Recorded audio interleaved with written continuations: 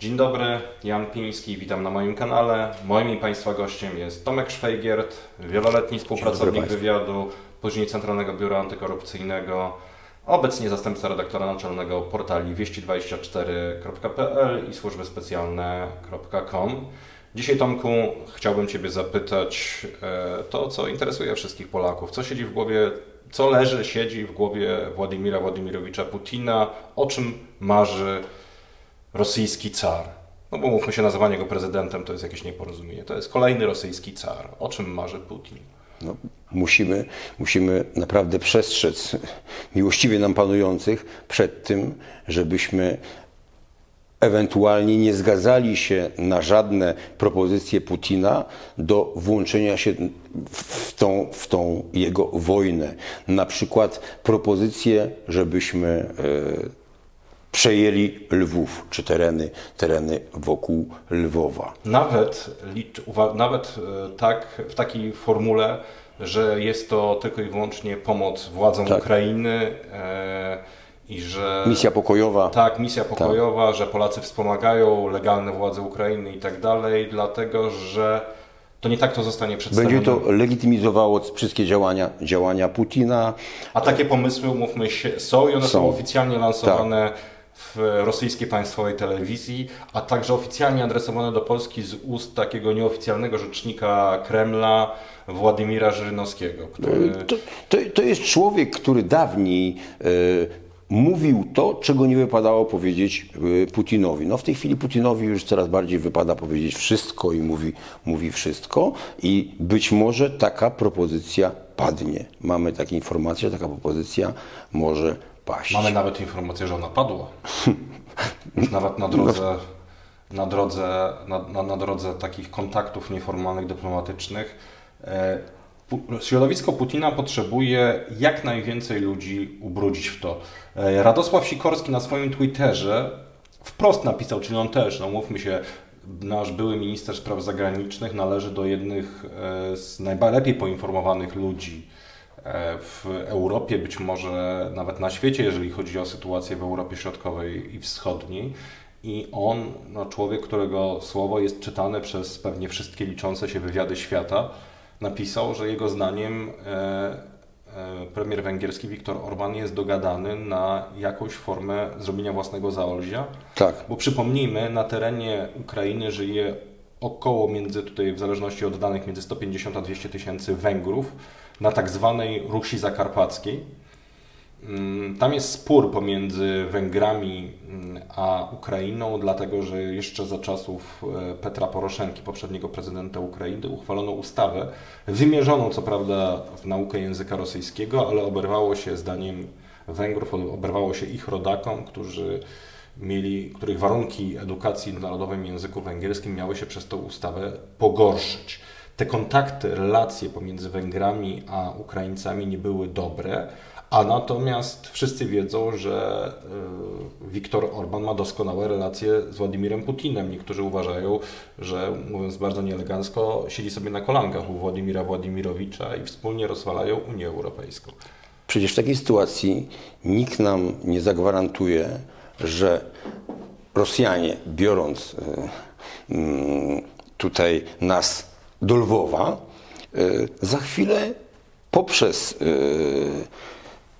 swojego, swojego wasala e, z Białorusi nie, nie zgłoszą do nas pretensji terytorialnych odnośnie część Podlasia, bo również stwierdzą, że tam, że tam jest jakaś mniejszość białoruska.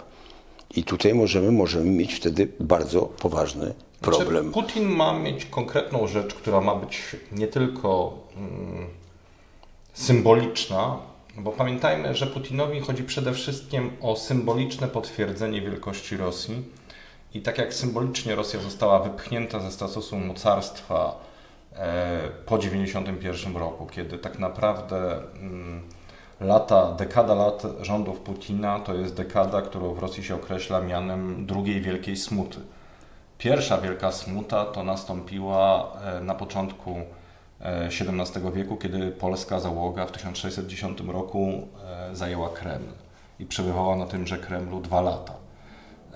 To zresztą jest wielkim kompleksem Rosjan, że Polacy bo tylko trzy nacje, drodzy, znaczy trzy razy dwukrotnie była tylko i wyłącznie Moskwa w historii Francuzi, my. Nie, znaczy na pierwsi to byli Mongołowie. Mongołowie, w Francuzi, 1384 Francuzi, roku. Tak. tak, potem byli Polacy i potem Francuzi z Polakami. Tak. Więc generalnie można powiedzieć, że Polacy dwukrotnie odwiedzili Kreml. I to jest coś, co bardzo się nie podoba w Rosji. To jest taka zadra, która zostaje... Pamiętali nam to wszyscy ze Stalinem włącznie. Tak, to jest coś, co zostaje w duchu imperialnym i z punktu widzenia Rosji były dwa narody pretendujące do bycia liderem słowiańszczyzny. Polska i Rosja. Rosja wygrała, Polska przegrała, w związku z tym Polska ma leżeć po prostu jak pies i się nie rzucać. Putin z upodobaniem wraca, wraca do wystrzelenia z armaty samozwańca, tak powiem, także do tego, tego incydentu. Do, do, do, do, do samozwańca, czyli Dymitra Samozwańca, Dymitra Polacy, Samozwańca. Pol, Polacy, e, tutaj wyjaśnię, Polacy zajęli się, polscy tak zwani interwenci, próbowali zdobywać władzę w Rosji w ten sposób, że posługiwali się cudownie odnalezionymi, e, rzekomo ocalałymi przed e, zabójcami dziećmi prawowitych carów. To był właśnie Dymitry pierwszy i Dymitr tak. II, to byli samozwańcy. To byli jacyś tam ludzie, którzy po prostu podawali się za Dymitrów, a akurat polskim możnym było to na rękę, że pojawił się ktoś, kto go można było poprzeć jego prawa do tronu tak. carskiego i próbować go zainstalować. W każdym razie u Rosjan to historia, no zresztą świętem narodowym Rosjan jest wypędzenie Polaków z Kremla, tak. więc... Dlatego, panie premierze Kaczyński, jeżeli ci pana doradcy, pan, sam pan już w tej chwili widzi, jak, jak to się sprawdziło, będą e, wobec pana jak zwykle, ja już nie chcę brzydko mówić, jak, jak, jak się zachowywać i, i to się zaczyna od lizania, tak to się mówi. E, I będą panu tłumaczyć, że przejdzie pan do historii jako drugi Piłsudski, który odzyskał Lwów. To bardzo dobrze było, żebyśmy mogli z powrotem być w Lwowie, ale nie, no. w ten sposób i nie teraz. Tego, tego niestety się. Znaczy, umówmy się, nie ma temat, tematu. Temat Lwowa jest zamknięty. Jest zamknięty raz na zawsze, jest to miasto ukraińskie i e, mówienie sugerowanie, w jakikolwiek sposób przyjęcie jakiej, jakiejkolwiek... Jest tylko wywoływanie napięć, a dla nas jest to e, legitymizowanie działań Putina. Tak, dlatego że on, na, nawet próba obudowania tego, tak jak e, to mm, próbują e, sądować sobie po niektóre środowiska, czy Polska mogłaby właśnie wesprzeć Ukrainę i wspomóc później państwowość ukraińską na tak zwanej e, Ukrainie zachodniej, E, to wszystko jest wejściem e, w jakiekolwiek układy z, tak. E, no, z agresywnym zaborcą, którym jest Putin. A prawda jest taka, że z takimi ludźmi jak Putin po prostu się układów nie da zawierać. Zawieranie tego typu układów może się skończyć tylko w jeden sposób. No, to jest takie słynne powiedzenie, że kto z chłopem pije, ten potem z chłopem pod stołem leży, tak. więc e, wchodząc w jakikolwiek e, nieformalny, tutaj oczywiście na całe szczęście mamy sojuszników, którzy nas od tego będą powstrzymywać, natomiast umówmy się. Brytyjczycy od razu, z tego co, co wiemy, Brytyjczycy od razu, od razu e, pokiwali palcem i powiedzieli, że nie, panowie, absolutnie. No. Tak. Natomiast tak. mamy sytuację taką, w której na pewno tego typu rzecz jest rozważana przez Węgrów, którym się nie podoba traktat tak. z Trianon, Pamiętajmy, że Węgry zostały okrutnie okaleczone według własnych i nawet być może. Dla Orbana był, był to prezent przed wyborami. Był, był to prezent znaczy, przed wyborami. Nie, on, tak. on, on, się boi, boi nie, on tego, nie, on, on, nie, To nie jest jeszcze ten moment, natomiast to jest tak, jak Radek Sikorski powiedział. On jest posłowie, tylko właśnie on czeka na to, czy to będzie za dwa lata, za trzy, za cztery.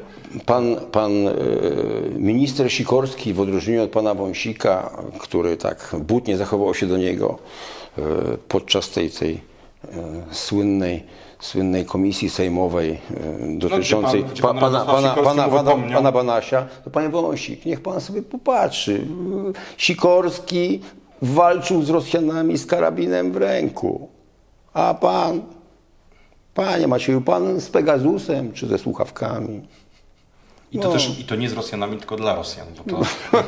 De facto tak. tak bo na, Także bo na samym tak... końcu na samym końcu to, to, to lądowało. Natomiast pomysły, pomysły, żeby rozegrać... Zamiast wydawać olbrzymie pieniądze na ten pana płot, panie Kamiński, panie Wąsik, zwróćcie uwagę, że w Polsce wystarczy wichura, żeby milion dwieście e, osób, abonentów było bez prądu.